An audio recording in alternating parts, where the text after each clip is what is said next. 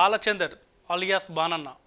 అతి చిన్న వయసులోనే ప్రజలకు సేవ చేయాలనే ఉద్దేశంతో అనేక స్వచ్ఛంద కార్యక్రమాలు చేస్తున్నటువంటి వ్యక్తి బాలచందర్. హైదరాబాద్ నగరంలో ప్రముఖ హాస్పిటల్ నిర్మాణంతో అనేక మంది పేదలకు అతి తక్కువ ధరకు వైద్యం అందిస్తున్నటువంటి బాలచంద్ర అలియాస్ బానన్న ప్రస్తుతం మనతో ఉన్నారు. బాలచంద్ర గారు నమస్తే. అన్న నమస్తే బాలచంద్ర మీ గురించి చాలా విన్నాం. అంటే అతి తక్కువ ధరకు వైద్యాన్ని అందించాలనేటువంటి ఆలోచనతో పేద ప్రజలకు మీకున్నటువంటి వైద్య సేవలను కూడా విస్తరించే ప్రయత్నం చేస్తున్నారు.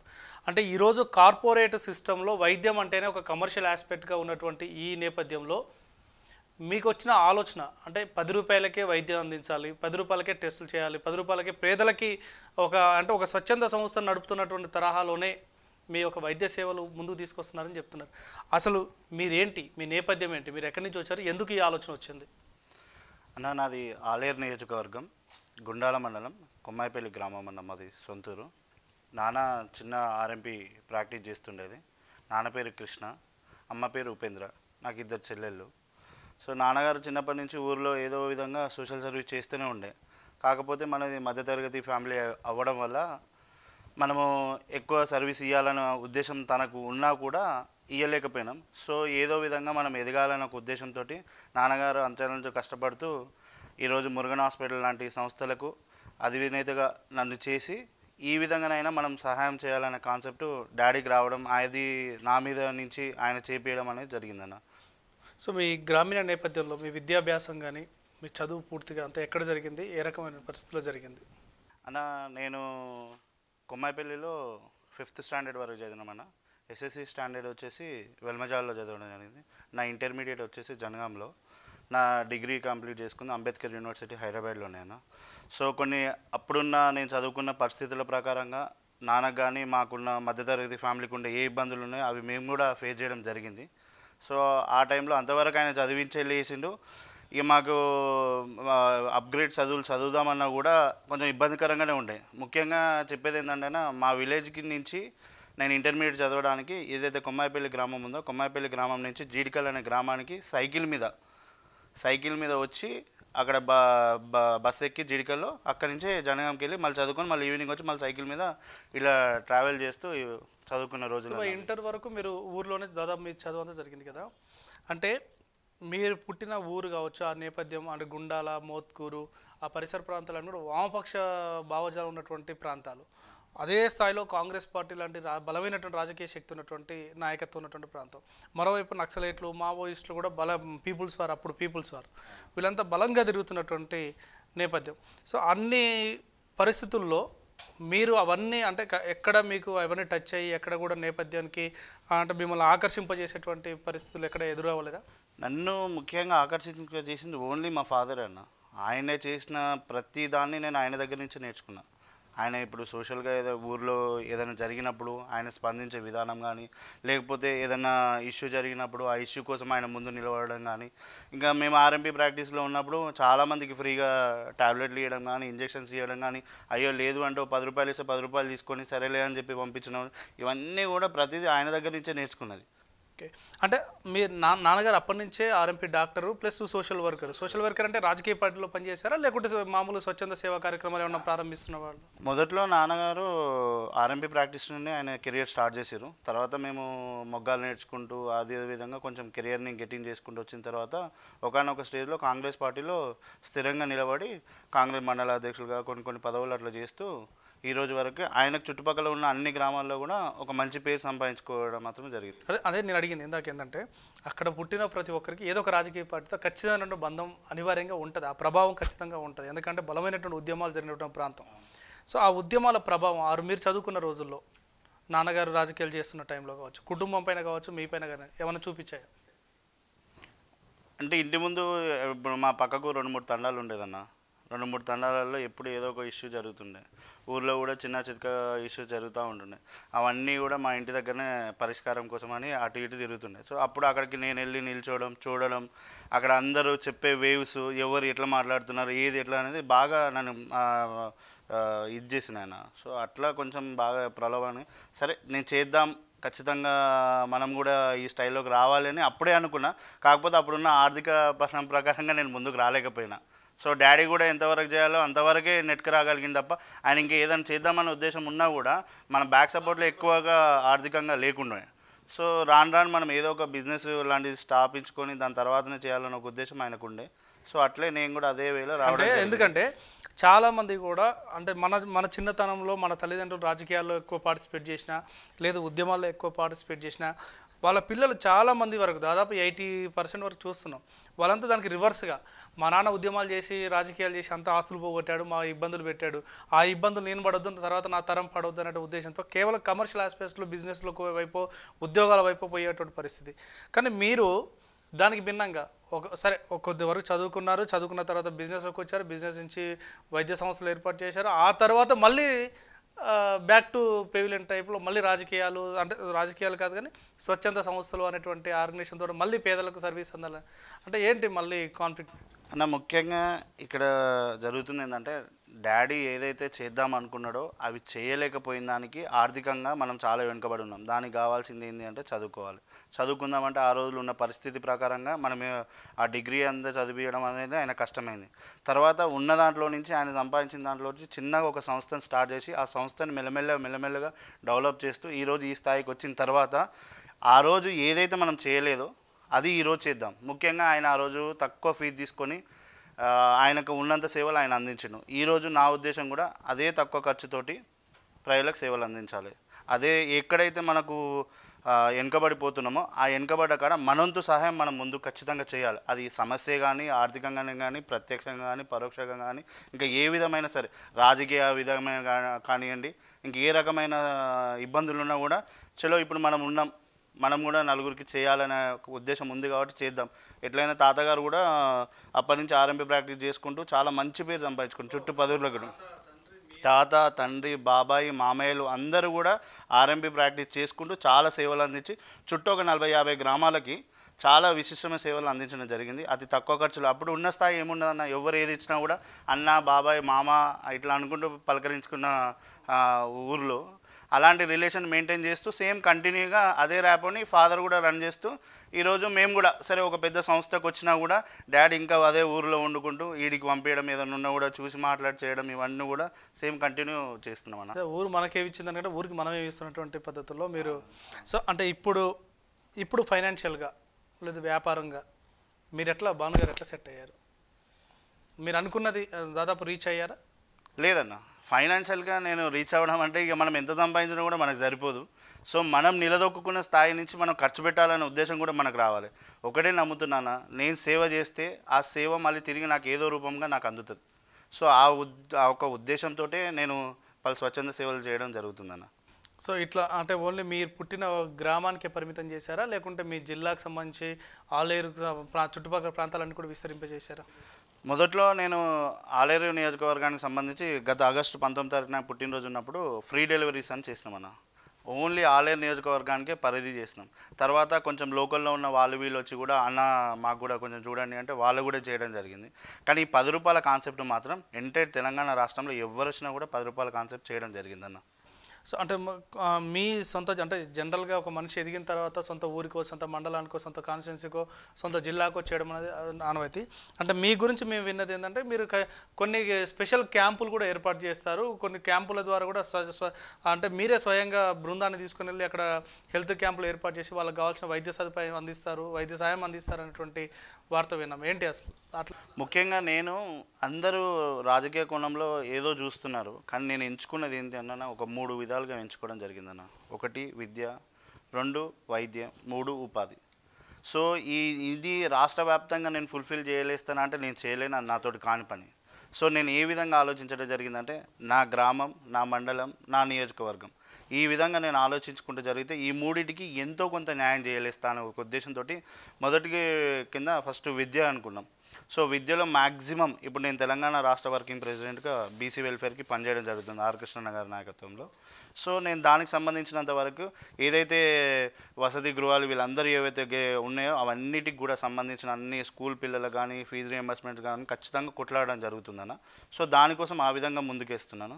రెండవ విషయం విద్యం వైద్యం. సో వైద్యం అనేది నా చేతిలో ఉంది అనేది ఇప్పుడు నా ఒక భావన. పూర్తి స్థాయిలో నాకు లేదు. నాకు ఉన్న స్థాయిలో ఏదైతే వైద్యం నాకు సంబంధించినంత వరకు ఉందో ఆ వైద్యంకి సంబంధించింది పూర్తిగా కూడా పేద ప్రజలకు అందియాలని ఒక ముఖ్య ఉద్దేశం. సో అందుకనే ప్రతి గ్రామంలో ఆలేరు నియోజకవర్గంలో ఉన్నటువంటి దాదాపు రెండు వందల యాభై గ్రామాలకు సంబంధించినటువంటి ప్ర ఆల్మోస్ట్ ఇప్పటివరకు నేను నూట నలభై విలే గ్రామాలలో పూర్తి స్థాయిలో ఫ్రీ హెల్త్ క్యాంప్స్ కండక్ట్ చేయడం జరిగింది. కండక్ట్ చేయడం అంటే ఆ రోజు అక్కడికి వెళ్తారు మా డాక్టర్స్ వెళ్తారు స్పెషాలిటీ డాక్టర్స్ వెళ్తారు ఫ్రీగా మెడిసిన్స్ ఇస్తారు షుగర్ టెస్ట్ చేస్తారు బీపీ టెస్ట్లు అన్నీ చూస్తారు. చూసి ఏదైనా ప్రాబ్లం ఉంటే కూడా వాళ్ళని తీసుకొచ్చి అత్యంత తక్కువ ఖర్చుతోటి ఏదైతే నా ఖర్చులు అవుతాయో డాక్టర్ ఫీజెస్ అంతవరకే తీసుకొని సర్వీస్ చేయించి మళ్ళీ ఆ పేషెంట్ ఆరోగ్యంగా ఇంటికి పంపించే వరకు బాధ్యత తీసుకునే విధంగా ఉంది. మూడవ విషయం ఉపాధి అనుకుంటున్నాం అన్న. ఉపాధి అనేది ఆర్లేరు నియోజకవర్గంలో పెద్దగా పరిశ్రమలు ఉన్నది ఏరియా కాదండి అంటే అక్కడ ఉన్న వాళ్ళకి ఏదో పరిశ్రమలు ఉన్నాయి అంటే ఏదో జాబులు వస్తాయి లేకపోతే ఇంకేదో విధంగా ఉన్నది అనుకుంటే ఏం లేదు. సో ఏదో ఒక విధంగా వాళ్ళకి హెల్ప్ చేద్దాం అనే ఉద్దేశంతో చూస్తే కూడా పోయి పరిశ్రమలలో చెప్పి మనం రికమెండ్ చేసే పరిస్థితి కాదు. లేకపోతే అక్కడ ఉన్న వాళ్ళందరూ మేము చదువుకున్న వాళ్ళందరూ సొంతంగా బిజినెస్లు పెట్టేంత అది కూడా లేదు. సో అందరికీ అన్ని విధాలు కూడా కలిసి రావాలి. సో అట్లా ఏ విధంగా లేనప్పుడు మేమేం ఆలోచించినామంటే సరే మనం నిరుద్యోగ వృద్ధి లాంటిది కూడా మనం చేయలేం. సో అంత అది కూడా కాదు. సో ఉన్నంత వరకు మన సంస్థలోనే మన సంస్థలోనే ఉన్నంత వరకు ఖచ్చితంగా మనం జాబులు ఇవ్వాలన్న ఒక ఉద్దేశంతో ఇప్పుడు పంజాగుట్టలో కొత్తది ఇంకో హాస్పిటల్ కూడా మనం కార్పొరేట్ స్థాయిలో చేయడం జరుగుతుంది కాబట్టి దానికోసం అని చెప్పి మొదటి విడత కింద మొన్న వంద జాబులు ఆలయ నియోజకవర్గానికే మొదటి విడత కింద రిలీజ్ చేసిన. సో దాంట్లో ఇప్పటికీ ఒక యాభై ఐదు అరవై మందిని సెలెక్ట్ చేయడం జరిగింది. సో ఇదే విధంగా నాకు ఒక మూడు వందల మంది ఎంప్లాయీస్ సో ప్రతి ఊరికి ఒక ముగ్గురికైనా సరే అట్లీస్ట్ నా వంతు సహాయం కింద వాళ్ళకి చేయలేస్తా అనే ఒక ఉద్దేశంతో ఉపాధి కూడా అందించాలనే అంటే బాణన్న దగ్గరికి పోతే ఏదో ఒకటి దొరుకుద్ది. చదువుకు తగ్గ ఉద్యోగం. ఉద్యోగం దగ్గర చదువు కాకపోయినా ఏదో ఉపాధి ఖాళీగా ఉండకుండా ఊర్లో ఖాళీగా ఉండకుండా బాణన్న దగ్గరికి పోతే ఒకటి దొరుకుతుంది అనేటువంటి విశ్వాసాన్ని అయితే కల్పించగలుగుతున్నారు. సో అది అంటే మీరు అంటే సోషల్ యాక్టివిటీస్లో కూడా అంటే విద్యార్థి దశలో కూడా కొన్ని బీసీ సంఘాల్లో సామాజిక సంఘాల్లో పాల్గొన్నటువంటి ఆర్కెస్ట్రా నేపథ్యంలో. సో అప్పుడు మీ ఫీలింగ్ ఏంది? ఎటువంటి అంటే అటు నుంచి అయినా కొంతమంది రాజకీయాలకు మళ్ళీ వాళ్ళని చూసి హరికృష్ణ గారితో నాకు బాగా పరిచయము ఆర్కృష్ణ దగ్గర పనిచేసిన వాళ్ళు చాలామంది రాజకీయాల్లోకి వెళ్ళినటువంటి పరిస్థితి ఒక వివిధ స్థాయిలో కార్పొరేటర్లుగా కొంతమంది జెడ్పీటీసీలుగా ఎమ్మెల్యేలు అయిన వాళ్ళు చాలామంది ఉన్నారు. సో అప్పుడు మీకు ఎట్లా కనెక్షన్ నేను ఇప్పుడు నాన్నగారిని చూసి ఏదైతే నేర్చుకున్నా అని చెప్పిన ఒక తరహా పోతే మళ్ళీ ఒక తరహా వచ్చేస్తే అదే కృష్ణన్న గారు. కృష్ణన్న గారి స్ఫూర్తి స్పి- కృష్ణన్న గారి ధైర్యం అదంతా వేరుగా. సో అన్నని చూసినప్పుడు మనకు తెలివని ఒక గూజ్ బంప్స్ వస్తాయి. ఆయన పోరాడుతున్న తత్వం కానీ ఒక దగ్గరికి వెళ్ళి ఒక ధర్నా చేస్తే అది అయ్యే వరకు వదిలిన మనిషి ఆయన. ఆయన చూసినప్పుడు మనకు చాలా ధైర్యం వచ్చేస్తుంది అన్న సో అలాంటివి చాలా నేర్చుకున్నాను నేను ఆయన దగ్గర నుంచి. కృష్ణన్న కానీ గుజ్జ సత్యం అన్న కానీ గుజ్జ వీళ్ళందరూ కూడా చాలా నాకు అంటే ఇట్లా కాదు బాను ఇట్లా ఉండాలి మనం ఈ విధంగా పొట్లాడాలి ఈ విధంగా ఇది చేద్దాం ఈ విధంగా ముందుకు రావాలి మీరు ఇక్కడ కూడా తగ్గొద్దు ఇక్కడికి వెళ్తే భయపడొద్దు ఇవన్నీ కూడా వాళ్ళు వెనకపండి చాలా సపోర్ట్ చేయడం జరిగింది. ఆ విధంగా కృష్ణన్న దగ్గర నుంచి చాలా వచ్చింది. ఈరోజు నేను ఈ స్థాయిలో ఉన్నా అంటే దానికి గుజ అన్న డాక్టర్ పురుషోత్తం అన్న వీళ్ళందరూ నాకు సహాయ సహకారాలు చాలా అందించారు. ఎందుకంటే వాళ్ళ వెనుక పనులు ఉండి నన్ను పూజ చేయడం చాలా ఇంపార్టెంట్ అని ఒక వ్యక్తికి ప్రతి మనిషిలో ఇంత భయం ఉంటుంది. ఆ భయాన్ని పోగొట్టి ఏం కాదు మేము ఉన్నామని ఒక భరోసా ఇచ్చిన మనుషులు వీళ్ళు. సో అందులో కృష్ణన్న గారు కూడా. ఒక వ్యక్తిని ఫాలో కావడం వేరు. ఆ వ్యక్తే మనల్ని ఫాలో అవుతున్న వాళ్ళకి రివర్స్ ఈ ఇలా ఉండాలని ట్రైన్ చేయడం కూడా వేరు. అది ఇలా కృష్ణాలో మేము చాలా చూసాం. ఉమ్మడి ఆంధ్రప్రదేశ్లో ఫీజు రియంబర్స్మెంట్ అంశం వచ్చినా బీసీ విద్యార్థుల సమస్యలు వచ్చినా ముందుగా వినపడేటువంటి వ్యక్తి ఆర్ కృష్ణ అనే విషయం మనందరికీ తెలిసింది. సో ఇప్పుడు ఆర్ కృష్ణ ప్రభావం మీ మీద ఇంకెంతవరకు ఉంటుంది? ఆర్ కృష్ణ గారు ఇప్పుడు చట్టసభలో చట్టసభల్లో ఫిఫ్టీ పర్సెంట్ రిజర్వేషన్ కావాలని చెప్పేసి దృఢ సంకల్పంతో దానికోసం ఫైట్ చేస్తున్నాడు. మమ్మల్ని కూడా అదే విధంగా ఆయన బాటలోనే మీరు రావాలి చేయాలని తీసుకెళ్తున్నాం. మేము కూడా అదే బాటలో వెళ్తున్నాం. నెక్స్ట్ ఖచ్చితంగా ఇంకొకటి ఈ ఫిఫ్టీ పర్సెంట్ రిజర్వేషన్ కనుక అమలు జరిగితే రాష్ట్రంలో ఉన్న బీసీలో కానీ లేకపోతే అన్ని రకాల కు- వర్గాల కుల ప్ర కులస్తులకు కానీ ప్రతి ఒక్కరు కూడా న్యాయం జరిగే అవకాశం చాలా ఎక్కువ అన్న. నాకు రాష్ట్రమే కాదు దేశపరంగా ఉన్నటువంటి ప్రతి ఒక్కరు కూడా ఎవరైతే రాజ్యాధికారం వైపు రావాలి రావాలి అనుకుంటున్నారో వాళ్ళందరికీ కూడా రాజ్యాధికారం ఒకే వచ్చే అంశం ఏదైనా ఉంది అంటే ఫిఫ్టీ పర్సెంట్ రిజర్వేషన్ అన్న. సో ఫిఫ్టీ పర్సెంట్ రిజర్వేషన్ అదేవిధంగా రాజ్యాంగంలో బీసీల రిజర్వేషన్ల సంఖ్య పెరగాలంటే ఇప్పుడు బీసీ జనగణన కూడా సాగాలి దాని మీద కేంద్ర ప్రభుత్వంపై ఒక యుద్ధం కూడా కొనసాగుతూ ఉన్నాడు సో భానుగారు అంటే మీ నేపథ్యం కానీ మీ ఆలోచనలు కానీ మీరు ఫాలో అవుతున్న లీడర్ యొక్క స్టాటస్ కానీ చూస్తే మీకు పూ- పూర్తిగా రాజకీయాలపై ఒక మంచి అవగాహన ఉన్నటువంటి పరిస్థితి కనిపిస్తూ ఉంది. తర్వాత రాజకీయాల పట్ల ఆసక్తి కూడా కనిపిస్తూ ఉంది. సో ఆలే మీరు పుట్టి పెరిగిన మండలం కానీ మీ ప్రాంతం అంతా కూడా ఆలేరు నియోజకవర్గానికి పరిమితమైనటువంటి కాన్స్టిట్యున్సీ. ఒక్కసారి నియోజకవర్గానికి సంబంధించి రివ్యూ చేసుకుంటే అసలు నివే నియోజకవర్గం ఎలా ఉంది? అక్కడ అభివృద్ధి ఎలా సాగుతోంది? తెలంగాణ రాష్ట్ర ఆవిర్భావంతరం జరిగిన పరిణామాలు ఎలా ఉన్నాయంట అన్న ఆలేరు నియోజకవర్గంలో ఎనిమిది మండలాలు. యాదగిరిగుట్ట తురకపల్లి బొమ్మల రామలం రాజపేట గుండాల ఆత్మకూరు కొత్తగా ఏర్పడ్డది ఒకటి మూటకొండూరు. ఈ ఎనిమిది మండలాలలో మాకున్న ఈ ఎనిమిది మండలాలకు ఉన్న పరిస్థితులు అన్ని ఇప్పుడు మామూలుగా చూసుకుంటే అన్ని నియోజకవర్గాల కంటే కూడా వెనుకబడ్డ దాని కింద అని చెప్పుకోవచ్చు మేము. ఎందుకంటే మా దగ్గర పరిశ్రమలు లేవు సాగునీటికి సరిపడా నీరు లేదు నిరుద్యోగులు అట్లే ఉన్నారు వేచి చూడాల్సి వస్తుంది. ఈ రోజు కూడా పని కోసం ఆలేరు పొద్దున పుష్పుల్ ట్రైన్ ఎక్కితే హైదరాబాద్కి వచ్చి పని చేసుకొని మళ్ళీ సాయంత్రం పోయి మళ్ళీ ఉండాల్సిన పరిస్థితే ఉంది తప్ప పెద్దగా మేము మెరుగైంది లేదు. ఇంకా చెప్పుకుంటూ వస్తే అసలు మా ఊరికి ఈ రోజు వరకు కూడా మా ఊరికి రోడ్డు లేదన్న ఈ రోజు వరకు కూడా రోడ్డు లేని పరిస్థితులు ఉన్నాయి. గట్టిగా వర్షం పడితే మా ఊరికి బస్సులు బంద్ అవుతాయి. పిల్లలు ఆ నుంచి ఇడికి నడుచుకుంటూ రావాలి. వెహికల్స్లో రాలేని పరిస్థితి. సో ఈ రోజు కూడా ఇంత వెనుకబడిన పరిస్థితులలో మనం కలుస్తున్నాం కనబడుతుంది. ఇదే కాటపల్లి కాడ మెయిన్ రోడ్డు మీద అన్న నీళ్ళు పోతే కూడా ఎవరు కూడా రహదారి మెయిన్ రహదారి బంద్ అయితే కూడా పట్టించుకోని పరిస్థితులు ఈరోజు మనకు కనిపిస్తున్నాయి. ఎందుకు తెలంగాణ రాష్ట్రం ఆవిర్భవించిన తర్వాత ప్రతి ఊరు కనెక్టివిటీ రోడ్డుగా మారింది ప్రతి ఊరు కనెక్టివిటీ వచ్చింది అన్ని రోడ్లు కూడా బాగుపడ్డాయని చెప్పేసి ప్రభుత్వం చెప్తా ఉంది కదా? నేను ఎవరిని విమర్శించదలుచుకోలేదు కానీ ఫ్యాక్ట్స్ అయితే ఎవరు మార్చలేము నిజాలైతే మార్చలేము నోటి మాటకి ఏదైనా చెప్పలేస్తాం. నోటికి ఎంత వస్తే అంత మాట్లాడలేస్తాం. ఎందుకంటే నోటికి దండిగేసేది లేదు కదా అన్న. దండిగేసేది ఏమైనా ఉంటేనేమో ఆలోచించి మాట్లాడేది ఉంటుంది. అలాంటిది లేదు కాబట్టి ఖచ్చితంగా మాట్లాడే ఇప్పుడు అంత దూరం ఎందుకు? నా సొంత గ్రామం కొమ్మాయిపల్లికి ఈ రోజు ఈ క్షణం మనం ఇంటర్వ్యూ అయిపోయిన తర్వాత వెళ్ళి మీకు చూపించినా కూడా లైవ్లో నేను అక్కడ చూపిస్తాను నాలుగు కిలోమీటర్లు ఉన్నటువంటి జీడికల్ నుంచి కొమ్మాయిపల్లికి ఇప్పటి వరకు రోడ్డు లేదు. ఈరోజు వర్షం పడ్డా ఇది పడ్డా కూడా అక్కడ రోడ్డు రహదారి వే బంద్ అయిపోతుంది. మళ్ళీ మేము అంతగానం తిరిగి రావాలి అంటే వయా వెల్మయాల అనంతరం అని చెప్పేసి తిరిగి రావాలి. ఆ రోడ్డు కూడా అంతంత మాత్రంగానే ఉన్నాయి. సో మరి కాన్స్టిట్యున్సీకి సంబంధించి కాన్స్టిట్యున్సీ డెవలప్మెంట్కి సంబంధించి మీ దగ్గర నుంచే ప్రజాప్రతినిధి ఎమ్మెల్యే ఉండి తర్వాత విప్పుగా ఉన్నటువంటి పరిస్థితి. కేసీఆర్ ప్రభుత్వానికి చాలా దగ్గర వ్యక్తి. సో ఈ నేపథ్యంలో కాన్స్టిట్యున్సీ డెవలప్మెంట్కి సంబంధించి మీ దగ్గర ఉన్న ప్రణాళిక ఏంటి? అసలు ఏంటి మీ ఇప్పటివరకు కాన్స్టిట్యూన్ డెవలప్మెంట్ కోసం అంటే మీరు సోషల్గా ఈ వైద్యానికి సంబంధించి ఉపాధికి సంబంధించి ప్లాన్ చేసేది. కాన్స్టిట్యున్సీ డెవలప్మెంట్కి సంబంధించి ఎటువంటి ప్లాన్ ఉన్నాయి అలా నీ కాన్షియన్స్ డెవలప్మెంట్ కంటే ముఖ్యంగా మనం చెప్పుకుంటూ పోవడం అనేది ఒక వే. కాకపోతే ఇప్పుడు నేనైతే మూడు అంశాలు ఎంచుకున్న దాని ప్రకారంగా వెళ్దామని ఒక విధంగా వస్తున్నా. మన చేతిలో కనుక ఖచ్చితంగా అధికారం లాంటిది వస్తే మాత్రం ఫస్ట్ చూడాల్సింది రోడ్లే అన్న. ఎందుకంటే రోడ్లు చక్కగా ఉంటే పిల్లలందరూ ఎక్కడ వాళ్ళు ఆ ఊర్లో లేకుండా హయ్యర్ స్టడీస్ కోసం రావాల్సిన ప్లేస్కి రాగలుగుతారు చదువుకోలేస్తారు బస్ వేస్ రహదారులు బాగుంటాయి ఏదైనా ఎమర్జెన్సీ అయితే కూడా ఏ హాస్పిటల్ తీసుకురావడానికి కానీ అన్ని విధాలు కూడా బాగుంటాయి. రోడ్ ఫెసిలిటీని బట్టి ఆ ఊరు ఎంత డెవలప్ అయిందో అంచనా కూడా వేయచ్చు. వేయచ్చు. సో అంటే దానికి సంబంధించి ఆలేరు నియోజకవర్గానికి సంబంధించి బానన్న యువసేన పేరుతో మీరు చేస్తున్న స్వచ్ఛంద కార్యక్రమాలు ఏమేమి ఉన్నాయి బాన్న యువసేన పేరుతోటి ముఖ్యంగా అంబులెన్స్లు ఫస్ట్ మేజర్గా స్టార్ట్ చేయడం అంబులెన్స్లు స్టార్ట్ చేస్తాం మనం. సో ఈ అంబులెన్స్ ఇట్లా మా ఉద్దేశం ఏంటంటే ఎనిమిది మండలాల్లో ఎనిమిది అంబులెన్స్లు పెట్టాలని చెప్పేసి ఒక ఉద్దేశంతో ఈరోజు నాలుగు మండలాలకు ఆల్రెడీ నాలుగు అంబులెన్స్ పంపించడం జరిగింది. ఈ నాలుగు అంబులెన్స్లు ఇప్పుడు ఎనిమిది మండలాలకు సంబంధించిన వరకు కవర్ చేస్తూ ఉన్నాయి. అదేవిధంగా బాణన యువసేనల కోసం ప్రతి గ్రామంలో ఒక ఇరవై ముప్పై మంది సభ్యత్వంలా తీసుకొని మన కోసం వర్క్ చేయడం జరుగుతుంది. వీళ్ళు ఏం చేస్తారు అంటే ఆ గ్రామంలో ఏదైనా సమస్య వస్తే ఒక మనిషికి ఆర్థికంగా ఏదో ప్రాబ్లం ఉండి చనిపోయినా లేకపోతే ఆ మనిషికి ఆ ఆ ఊ- ఆ ఇంట్లో ఏదైనా ఇబ్బంది వచ్చినా లేకపోతే ఆ మనిషికి ఏదైనా హయ్యర్ స్టడీస్ కోసం ఇంకెక్కడైనా పంపించాల్సి వచ్చినా ఇంకే ఆ మనిషి దగ్గర ఒక టాలెంట్ ఉంది వన్ జాబ్ చేయడానికి జాబ్కు సంబంధించింది లేకపోయినా కూడా అలాంటి ఇన్ఫర్మేషన్స్ అన్నీ బాగానే యువసేన సభ్యులందరూ. ఎవరైతే ప్రెసిడెంట్స్ వాళ్ళు ఉన్నారో వాళ్ళ నోటీస్ నుంచి మన నోటీస్ తీసుకురావడం జరుగుతుంది. తీసుకొచ్చిన తర్వాత మనం వాళ్ళకి ఎంత సాయం చేయాలి? ఏ విధంగా మనం రాజకీయంగా అయితే రాజకీయంగా కానీ లేకపోతే జాబ్ పర్పస్లో అయితే జాబ్ పర్పసే కానివ్వండి ఆర్థికంగా కొంచెం ఇది చేస్తే వాళ్ళు పూటకైతే కొంచెం నడిపోతుంది చాలుతుంది అన్న ఉద్దేశంగా ఉంటే అట్లా కూడా మనం చేయడానికి సిద్ధంగా ఉన్నాయి. సో బాణ యువసేన సభ్యులందరూ ఈ విధంగా చేయడం జరుగుతుంది.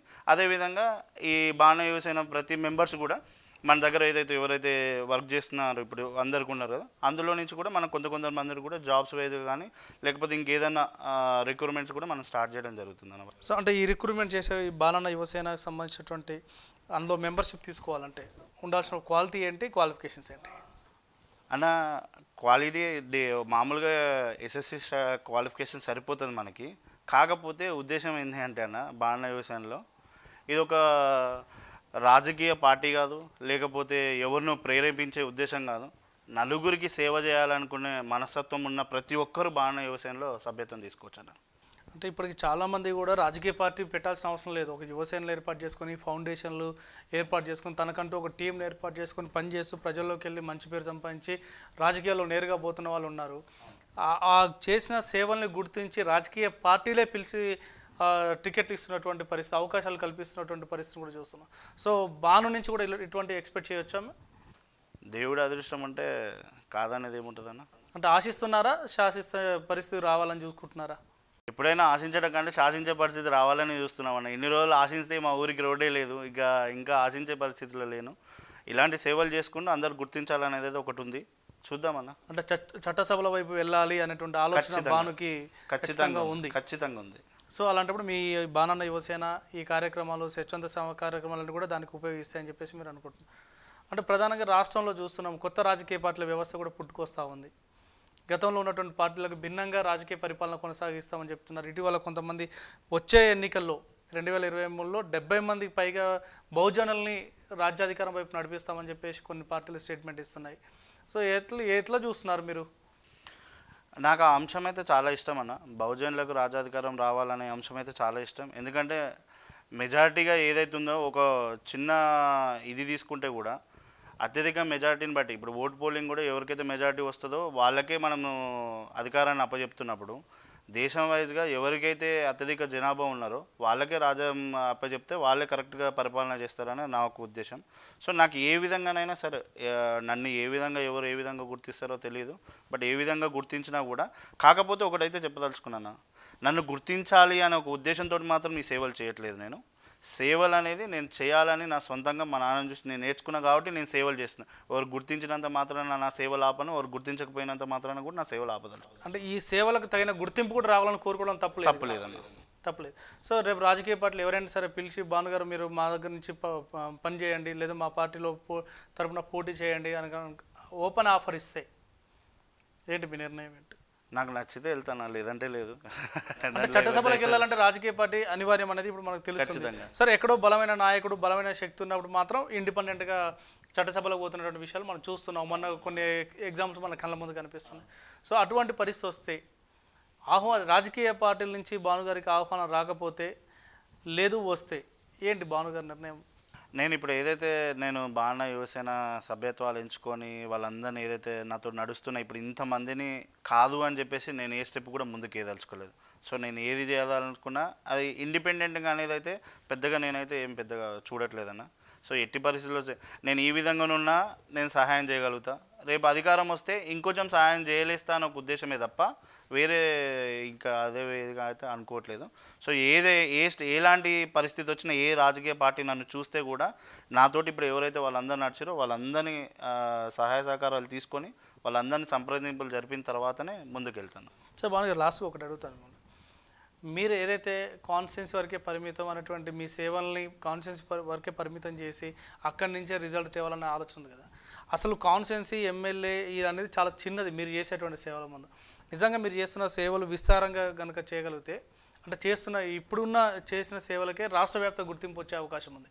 ఈ రాష్ట్ర వ్యాప్తంగా గుర్తింపు వచ్చే అవకాశాన్ని ఎదుర్కొని ఒక కాన్స్టిట్యున్సీ ఒక జిల్లాకే పరిమితం కావాలంటే ఆలోచన ఎంతవరకు కరెక్ట్ అన్న ఇల్లు చక్కదిద్దుకొని బయట చక్కదిద్దుకోవాలన్న సో ఫస్ట్ నా కాన్సెన్సీకి అంతో ఇంత నేను మెరుగులు దిద్దిన తర్వాత రాష్ట్ర వైపు నుంచి కూడా ఖచ్చితంగా మనం చూడొచ్చు. సో నా కాన్సెన్స్కి నేను ఏం చేస్తున్నా అనేది ఇప్పుడు చాలా తక్కువనే నేను అనుకుంటున్నా. సో ఇంకా నేను దానికి చాలా సేవలు చేసేది ఉంది ఆ సేవలు చేయడానికి ఆలయ నియోజక నా వెనుక ఉండాలి. సో వాళ్ళకు కూడా మా బాను ఉన్నాడు ఆయన చేయలేస్తాడు మాలో ఒకడు మా దగ్గర నుంచి వచ్చిండు అనేది గుర్తింపు వాళ్ళందరి ప్రతి ఒక్కరు మనసులో కదిలినప్పుడు డెఫినెట్గా ఆడ ఫుల్ఫిల్ అయినప్పుడు ఇంకొక నియోజకవర్గం వైపు ఇంకో జిల్లా వైపు ఇంకో మీ మీద ఎంత మనసు ఉన్నా మీరు ఎంత సేవలు అందించినా మీరు వాళ్ళకి ఎన్ని మందు గోళీలు ఇచ్చినా ఎన్ని సూదులు ఇచ్చినా ఫ్రీగా మొన్న ఒక ఎన్నిక చూసాం మనం. ఏం జరిగిందో. డబ్బులు ఎలా వెదజల్లుతున్నారు అనేది సో దాన్ని కూడా ఎదుర్కొనే శక్తి ఎలా మరి? హుజురాబాద్ ఎలక్షన్ల గురించి మాట్లాడితే హుజురాబాద్ హుజురాబాద్ ప్రజలు తీసుకున్న నిర్ణయం ఒక విధంగా డబ్బు ప్రలోభాలు అవన్నీ చూసుకుంటే సరే ఒక మనిషికి విలువ ఇచ్చిర్రు అనేది నేను అనుకుంటున్నా. అంతిమంగా జరిగింది. కానీ ఆ మనిషి కూడా నిలబడడానికి ఆయన పడ్డ కష్టం కూడా మన కళ్ళ ముందు చూసాం కదా. అవునన్న. సో నేను కూడా అంతే. ఈ ఆలయ ప్రజలకు నా సొంతంగా ఎంతవరకు సేవ చేయాలో అంతవరకు చేస్తా. నిర్ణయం అనేది వాళ్ళ చేతుల్లో వదిలేస్తా. వాళ్ళు ఏ పొజిషన్ ఇచ్చినా కూడా నేను స్వీకరించడానికి సిద్ధంగా ఉంటాను. సో వాళ్ళ దగ్గర నుంచి ఇది అది అని ఏం ఎక్స్పెక్ట్ చేయను. వాళ్ళు ఏ పొజిషన్లో ఉంచినా కూడా ఆ పొజిషన్లో ఉంచి ఖచ్చితంగా నేను సేవలు అందిస్తాను వాళ్ళకి. ఓకే థ్యాంక్ యూ భాను గారు. ఇది doctor doctor Balachander alias బానన్న Yuvasena వ్యవస్థాపకులు ఏదైతే చెప్తున్నారో మొత్తంగా రాష్ట్రంలో ఉన్నటువంటి ప్రజలకు సేవలు అందించడమే కాదు తను పుట్టినటువంటి ప్రాంతానికి ప్రధానంగా సేవా కార్యక్రమాలు అందించాలి అంటే దానికి ఇప్పుడున్నట్టు సామాజిక సేవతో పాటు రాబోయే రోజుల్లో చట్టసభల ద్వారా కూడా మరింత సేవలు బలపరచవచ్చు అనేటువంటి అభిప్రాయంతో తను ఉన్నారు. సో మొత్తంగా తన ఆలోచనలు తన ఆశలు కూడా నెరవేరాలని చెప్పేసి ఆకాంక్షిస్తూ దిస్ ఇస్ రాజు